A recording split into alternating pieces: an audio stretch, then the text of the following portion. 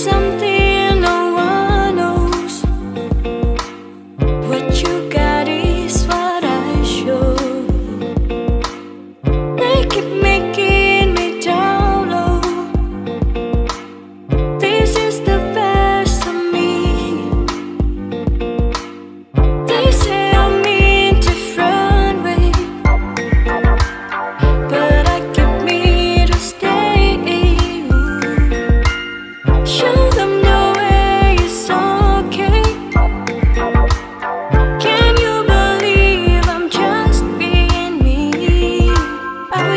could, I wish I could go back to now.